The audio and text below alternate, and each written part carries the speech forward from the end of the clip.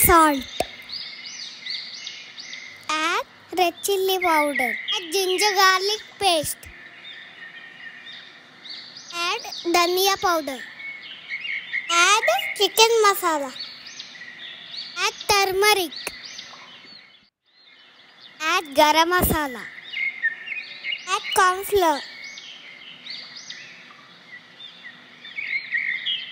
Add oil.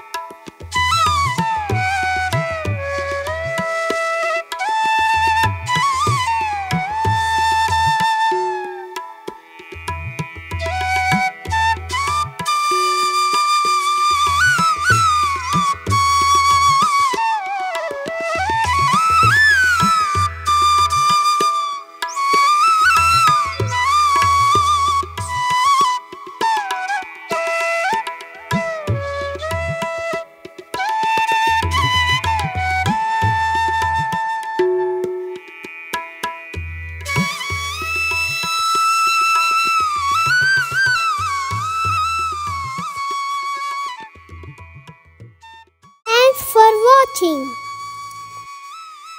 Please subscribe to my channel.